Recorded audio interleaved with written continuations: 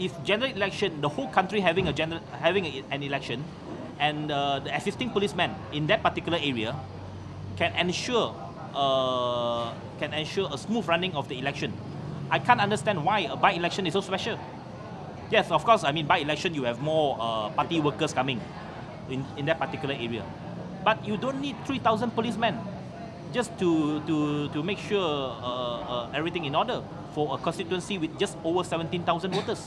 This is ridiculous. As I said, the ratio was one to six. And I will ask, uh, I mean, on behalf of Pakatan Rakyat, I will submit the questions. I'll, submit a parliamentary question for the next sitting in September. In particular, ask, in particular to ask uh, what is the expenditure in, part- uh, for the police in Bukit Kuala Besut. The legal limit for a candidate to spend for state legislative uh, assembly seat is 100,000. Can you believe that Barisan Nasional only spent 100,000 for this by-election? I mean, definitely it's more than that. As I said, one program is easily more than 100,000 for them.